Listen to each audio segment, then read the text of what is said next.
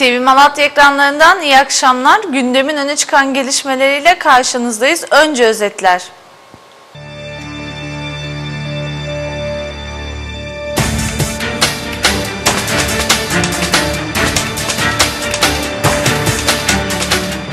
Bahar bitiyor, yağmur geri geliyor.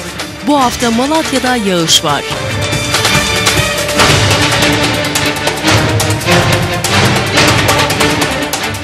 İkinci bilim şenliği açılıyor. Şenlik 4 gün boyunca kapılarını ziyaretçilere açıyor.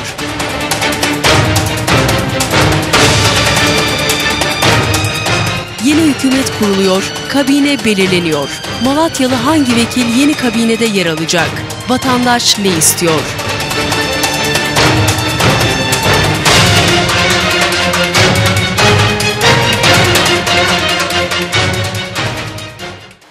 Özetleri izlediniz. Şimdi haberlere geçiyoruz. Binali Yıldırım Başbakanlık koltuğuna oturdu ve A takımı belirlemeye başladı. Hükümetin yeni kabinesinin açıklanmasına saatler kala Malatya'da hareketlendi. Yeni kabinede hangi vekiller yer alacak? İşte cevabı. AK Parti'de pazar gününden itibaren Binali Yıldırım dönemi başladı. Yıldırım ilk olarak Merkez Karar Yönetim Kurulu'nda yer alan isimleri değiştirdi. Şimdi ise sıra yeni kabinede. Yıllar sonra ilk kez Bülent Tüfekçi ile bakanlık sevinci yaşayan Malatyalılara mikrofon uzattık ve yeni açılacak kabinede Malatya'da hangi milletvekili listede yer alır diye sorduk. Tüfekçi'ye destek olmalıyız diyen vatandaş da vardı. Bakanlık en çok Öznur Çalak'a yakışır diyen de. ve Bilal Yıldırım seçildi. Hem genel başkan hem başbakan olarak. Bu konu hakkında ne söylemek istedim? Duygu alalım. Öncelikle e, yeni başbakanımızı yeni başbakan olduğunu, hayırlı olduğunu söylüyorum. Hayırlı olsun milletimize. Bakın tüfekçinin olması bizim için iyidir. Çünkü Malatya'mızdan, bizim memleketimizden. Valla ne diye canımızın sağlığı iyidir, güzel. Hiçbir kusur yok. Hepsi ekip tam. Gümrük ve Ticaret Bakanı olan Bülent Tüfekçi e, bakanlığa devam eder mi sizce 65. hükümette görev alır mı? Valla onu bilemem. Bülent Tüfekçi dürüst bir insan. Ha, çalışkan bir insandır. De- Devlete millete hayırlı olsun diyelim. Ne- Malatyalı bakanımız vardı Sayın Bülent Tüfekçi, Gümrük ve Ticaret Bakanı. E, 65. hükümette görev alır mı sizce? Bakanlığa devam eder mi? Bence alır yani. Vallahi hayırlı olsun derim. Bülent Tüfekçi'yi de seviyorum. Ben. 64. hükümette Gümrük ve Ticaret Bakanı Sayın Bülent Tüfekçi vardı. Tüfekçi Malatya'ya O gelecek. e, sizce Aynı görevine yıldır. devam eder mi? Devam eder. Eder veya daha yükselir. Valla Malatya'da ben onun dışında milletvekili tanımıyorum. Özür dilerim de. AK Parti'nin kurucular hepsi iyi insanlar. Tamam mı? Türkiye geneline karşı iyi insanlar. Peki çok 64. güzel. hükümette e, Bülent Tüfekçi görev almıştı, bakanlık yapmıştı. Sizce bakanlık görevine Onu devam eder mi? bilmiyorum. Onu, onu bilmiyorum ben ama Bilal Yıldırım'ın çalışmalarını gördüm, takip ettim çok güzel. Vallahi Allah hakkımıza hayırlısını versin inşallah. Temennimiz iyi olur. İnşallah iyi olur. Peki 64. hükümette e, Sayın Gümrük ve Ticaret Bakanı vardı Bülent Tüfekçi. Sizce 65. hükümette göreve devam eder mi bakanlık görevi? İnşallah devam eder. İyi Allah hayırlı uğurlu ede inşallah. Hepsi de iyiler. Allah razı olsun. Biz Peki sevdik 64. hükümette Bül- e, Bülent Tüfekçi vardı Sayın Bakan. He. Sizce 65. hükümette devam eder mi bakanlık görevi? Vallahi onu bilemem yavrum. Ne bileyim ben öyle. Peki Bülent Tüfekçi bakan olarak seçilmezse hangi milletvekilimiz bakan olsun? Yok o da olur o da olur. Hepsi de olur. Hepsi de iyi. işler rast gelsin. E şimdiye kadar neyse gene ondan sonra da bu onu devam edecek. Ne olacak? Peki 64. hükümette Gümrük ve Ticaret Bakanlığı'nı yapan Bülent Tüfekçi vardı. Evet, 65. hükümette tabii, bakanlık hemşerimiz. görevine devam eder mi sizce? Etmez. Etmeyeceği söyleniyor. Peki hangi milletvekilimiz bakanlık yapabilir? Valla bana göre hiçbirisi yapamaz. Yine Bülent Bey iyi yaptı. Şimdi bu e, zaten hükümeti kurma çalışmalarına başladı ve devam ediyor. E, istişareler devam ediyor. E, Bu e, Malatya milletvekillerine gelince e, bu e, Bülent Tüfekçi'nin e, seçilmeme tekrar bakan olarak gündemde Öznur Çalık ismi e, 64. söyleniyor. hükümette vardı Bülent Tüfekçi. Gümrük Ticaret Bakanlığı'nı işte- yapıyordu. işte bu- 65. hükümette görev alır mı? E İşte o e, daha belli değil. E, onun üzerinde bir çalışmalar oluyor. Peki, ya e, seçilmezse Peki Özgür Sayın Çalın Bakan ismi. Bülent, e, Bülent Tüfekçi bakan olmadığı takdirde Malatyalı hangi vekil bakanlık yapabilir? Valla bence Özgür Çalık birinci derecede bana göre yapabilir. E, ikinci derecede Mustafa Şahin de. İlk önce hayırlı olmasını diliyorum. Ha- hakkımızda hayırlısı olsun diyorum. Ee, Binali Yıldırım tecrübeli bir insan. 11 yıllık Ulaştırma Bakanlığı'nı yapmış ve e, İzmir'de belediye seçimlerine girse bile kazanmamış olması oy or- ortalamasını yükseltmiştir. Yani ülkemiz için iyi olacağını düşünüyorum. Peki 64. hükümette Gümrük ve Ticaret Bakanı Sayın Bülent Tüfekçi vardı.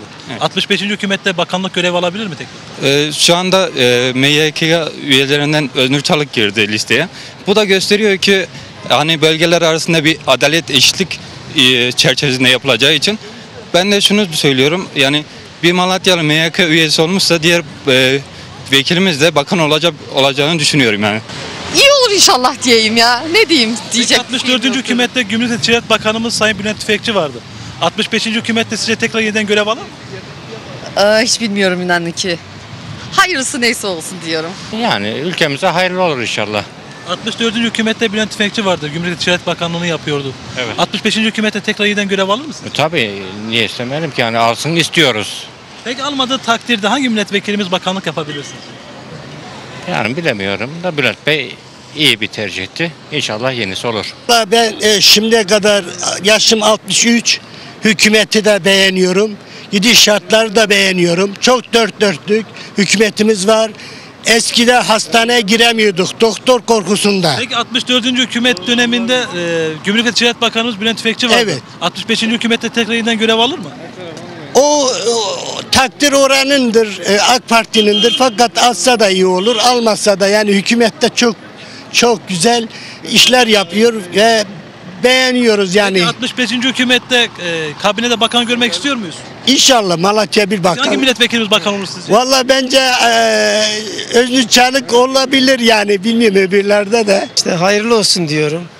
İnşallah almasını istiyorum ben. İnşallah alır. Almasa iyi olmaz Peki Malatyalılar almadığı için. takdirde hangi milletvekilimizin bakan olmasını istersiniz? Yani Bülent Tüfekçi'nin tekrar olmasını isterim. Büyükşehir Belediyesi tarafından yapılan trafik eğitim parkında çalışmaların %80'i tamamlandı. Başkan Çakır parkın son çalışmalarını yerinde inceledi. Büyükşehir Belediyesi Ulaşım Hizmetleri Dairesi Başkanlığı tarafından Milli Eğitim Bakanlığı'nın ilgili yönetmelik ve standartlarına uygun bir şekilde trafik eğitimi açısından toplumu bilinçlendirmek ve ölçülebilir düzeyde kaliteli bir trafik eğitimi sunmak amacıyla yapımına başlanan Trafik Eğitim Parkı'nda sona gelindi. Büyükşehir Belediye Başkanı Ahmet Çakır, beraberinde Genel Sekreter Yardımcısı Zeki Sarılar, İl Emniyet Müdürlüğü Trafik Denetleme Şube Müdürü Süleyman Hançer ve bazı şube müdürleriyle birlikte çalışmaların devam ettiği Trafik Eğitim Parkı'nda incelemelerde bulundu. Şimdi karşıya geçebilirsiniz.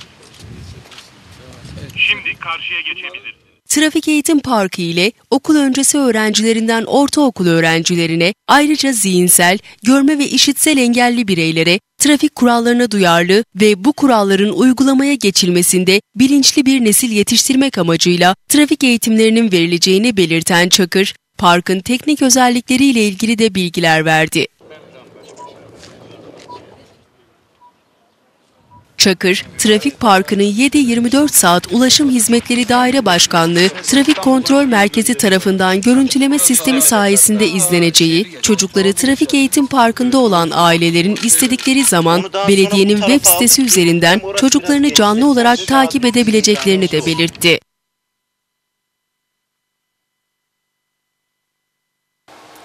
Mayıs yağmurları geri geliyor. Malatya'da hafta sonu yağışlı hava hakim olacak. Sıcaklıklar 2 ile 3 derece düşecek. Baharın son yağmurları geliyor. Meteorolojiden alınan bilgiye göre Malatya bu haftayı yağmurlu geçirecek. Sıcaklıklar 2-3 derece düşecek. Malatya'da beklenen 5 günlük hava durumu ise şöyle. Salı, sağanak yağışlı 24 derece. Çarşamba, parçalı bulutlu 26 derece. Perşembe, sağanak yağışlı 24 derece. Cuma, sağanak yağışlı 24 derece. Cumartesi, sağanak yağışlı 23 derece. Pazar, sağanak yağışlı 24 derece. TÜBİTAK 46. Bilim Fuarı'nda Yunus Emre Meslek ve Teknik Anadolu Lisesi öğrencilerinin yaptığı projeler sergilendi. Sergide 30 proje yer aldı. Konuşmasını yapmak üzere okul müdürümüz TÜBİTAK 4006 Bilim Fuarı'nda Yunus Emre Meslek ve Teknik Anadolu Lisesi öğrencilerinin yaptığı projeler sergilendi. Fuar açılışında konuşan Yunus Emre Meslek ve Teknik Anadolu Lisesi Müdürü Suat Kılıç, öğrencilerimiz 30 proje hazırladı. Fuar çerçevesinde bununla birlikte TÜBİTAK Ortaöğretim Kurumları tarafından 47. düzenlenen proje yarışmasına bölge finaline projemizi gönderdik. Finalde fizik alanındaki projemiz birinci ödülünü kazandı. Öğrencilerimiz Türkiye finallerinde de teşvik ödülü kazandı. İki yıldır yaptığımız çalışmaların meyvesini almaya başladık dedi. Öğrencilerimiz 30 proje hazırladılar TÜBİTAK Bilim Fuarı çerçevesinde. Bununla birlikte TÜBİTAK Ortaöğretim Kurumları 47.si düzenlenen Ortaöğretim Kurumları proje yarışmasında bölge finaline projemizi gönderdik ve finalde fizik alanında kazandı. Ee, Türkiye finallerinde de çok şükür teşvik ödülü almaya hak kazandılar. Bu alanda gerçekten iki yıldır yürütmüş olduğumuz çalışmaların önemli başarılarını, ödüllerini kazanmış bulunuyoruz. Öncelikle proje derecesi yapan arkadaşlarıma da buradan teşekkür ediyorum. Evet. Mesleki ve teknik eğitimin daha ileriye taşınması ümidiyle bu gençlerin ülkenin birer aziz sancarı olmaları ümidiyle Bismillah hayırlı uğurlu olsun.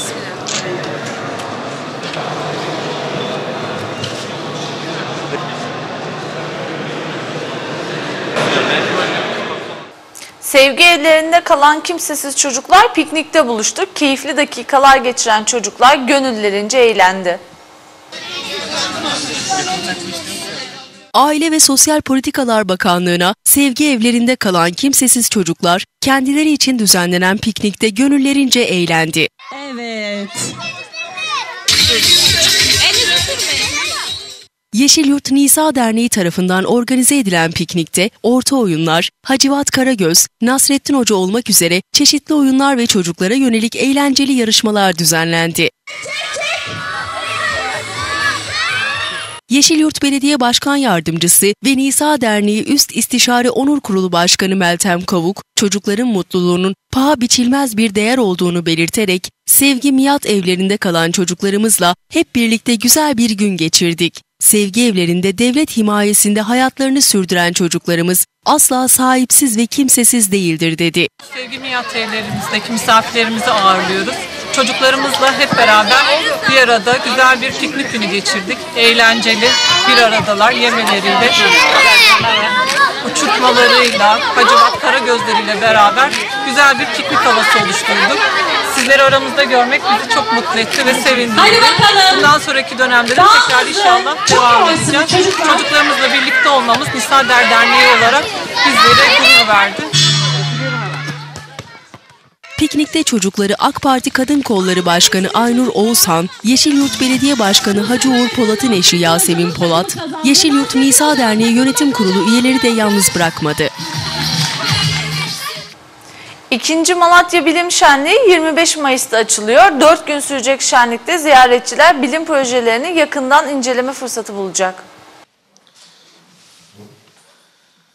Malatya Büyükşehir Belediyesi, Yeşilyurt ve Battalgazi Belediyesi'nin ortaklaşa düzenlediği Kültür AŞ tarafından organize edilen 2. Malatya Bilim Şenliği öncesi kurum yetkilileri bilgilendirme toplantısı yaptı. Büyükşehir Belediyesi Kültür AŞ Genel Müdürü Sabri Akın, 25 Mayıs 2016 günü başlayacak olan ve 4 gün sürecek olan bilim şenliğinde hedeflerinin çocuklara bilimsel alanda becerileri geliştirmek olduğunu söyledi ve okullardaki tüm öğrencilerin bilim şenliğine katılarak okullarda gördükleri bilimsel deneyleri daha yakinen inceleme fırsatı yakalayacağını kaydetti.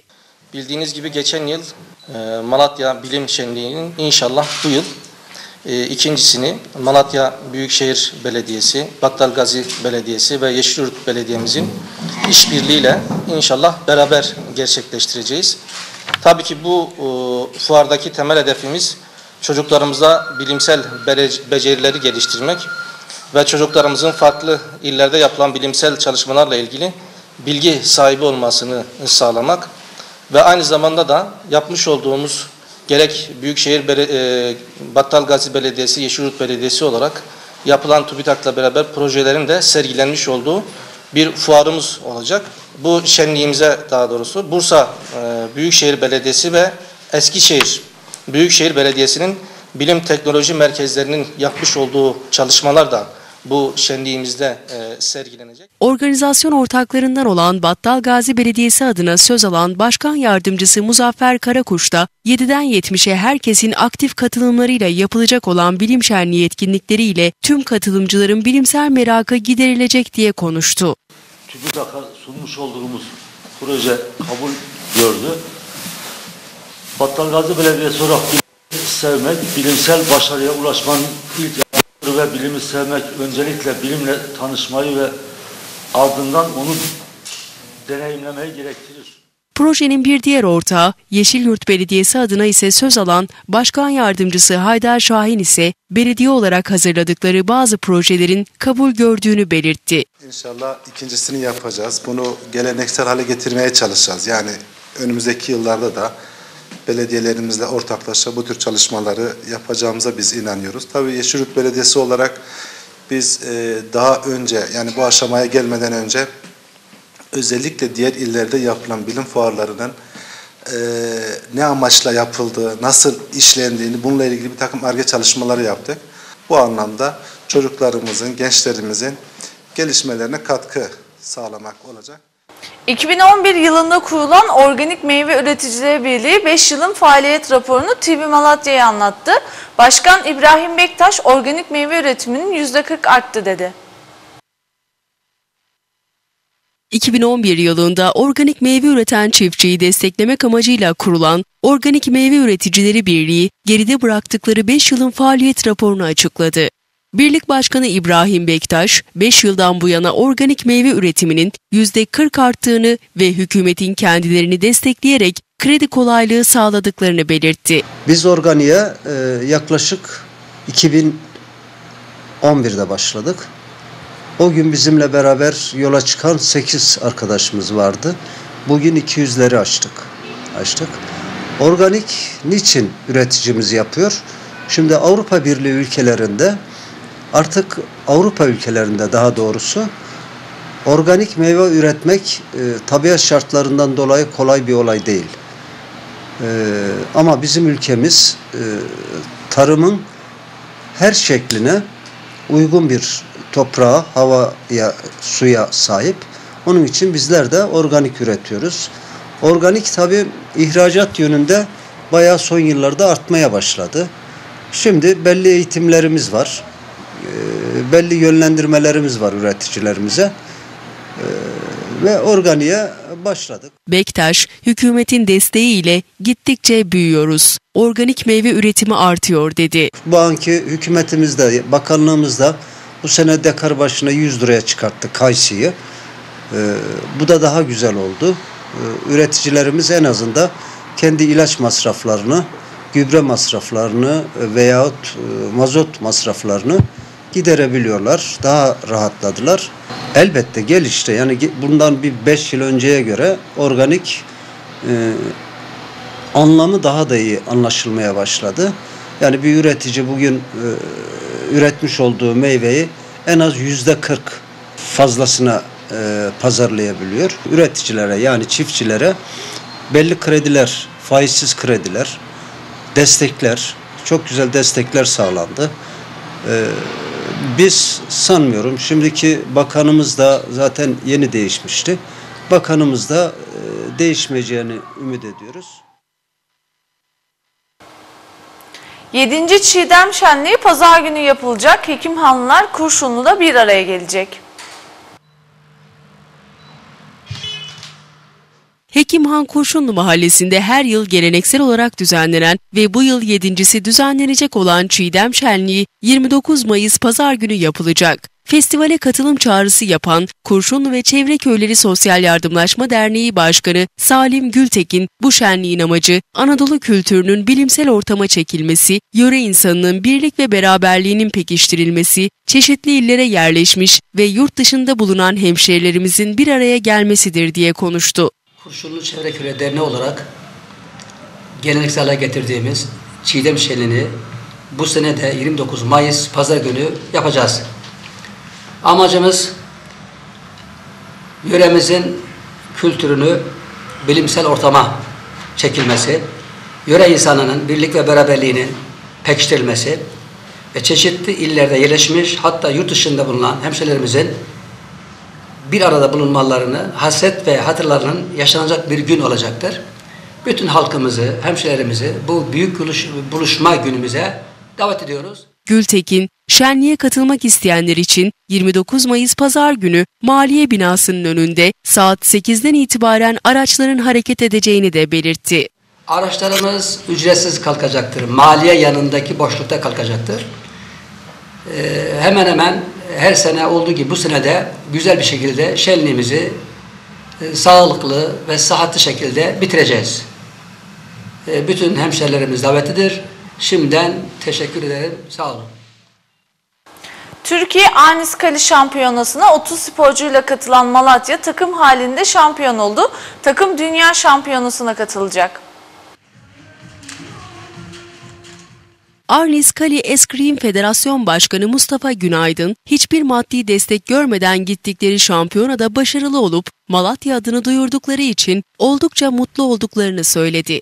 Günaydın, hedeflerinin sadece Türkiye şampiyonluğu olmadığını, dünya şampiyonluğunu da istediklerini kaydederek 2016 yılı içerisinde 15 Mayıs'ta Türkiye Arnis Kali Federasyonu'nun Türkiye Şampiyonası Mersin'de yapıldı. Biz Malatya olarak 30 sporcu, 4 hakem, 2 antrenör olarak gittik.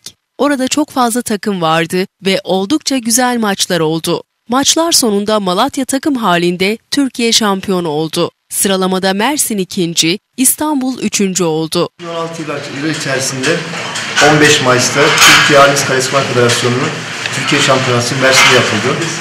Biz Malatya olarak 30 sporcu, 4 hay, e, hakem, 2 antrenör olarak gittik. Orada e, takım da fazlaydı. Çok güzel maçlar oldu. Maçlar sonunda e, Malatya Türkiye şampiyonu oldu takım halinde. Mersin ikinci, İstanbul üçüncü oldu. Maçlarımızı yıldızlar, gençler, büyükler ve veteran kadı- e, yaptık. Tüm arkadaşlar başarılı bir şekilde her şey yaptılar. Malatya'yı çok güzel temsil ettiler. Şu anda biz Malatya'da takım şampiyonuyuz. Türkiye şampiyonuyuz. Günaydın, Dünya Şampiyonası için Spor Bakanlığı bünyesine bağlanmayı beklediklerini kaydederek, eğer sponsor ayarlarsak Temmuz ayı içerisinde takımımız Filipin'de düzenlenecek Dünya Şampiyonası'na gidecek. Çalışmalarımız da hala devam ediyor. Kali Excrema'nın Türkiye'deki kalesi Malatya dedi. Federasyon olarak Filipin'de yapılacak olan, Temmuz ayı içerisinde Filipin'de yapılacak olan Dünya e, Kale, Ahlis Kalesma e, Federasyonu denemiş olduğu şampiyonada Dünya Şampiyonası'na katılacağız. Şu anda Dünya Şampiyonası için biliyorsunuz bizim federasyon daha Spor Bakanlığı'na bağlanmadı. Onun işte İçişleri Bakanlığı'na bağlı. Sponsor ayarlamaya çalışıyoruz ki sponsor ayarlarsak Allah nasip ederse Temmuz ayı içerisinde Filipin'deki Dünya Şampiyonası'na gelecek takımımız. Şu an çalışmalar devam ediyor. Sadece e, Eskrim, Kale Eskrima'nın Malatya'daki merkezi Malatya. Çünkü ilk Malatya'da başlattık 95 yılında Malatya'da başladı. Onun için Türkiye'nin diğer illerindeki sporcular birçoğu ya benim sporcum ya sporcumun sporcusu. Temeli Malatya. Onun için potansiyel Malatya'da bayağı var.